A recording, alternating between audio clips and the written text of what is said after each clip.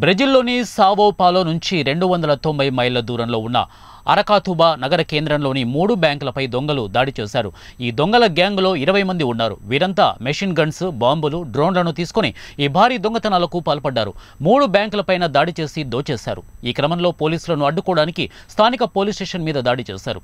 పోలీసులు తమను వెంబడించకుండా రోడ్లకు అడ్డుగా కార్లను పెట్టి నిప్పు పెట్టేశారు. ఇక ఇతరులు ఎవరూ తమను ఆపకుండా స్థానిక పౌరులను బందీలుగా చేసుకుని తమ కార్లపై కట్టేసి తీసుకుపోయారు.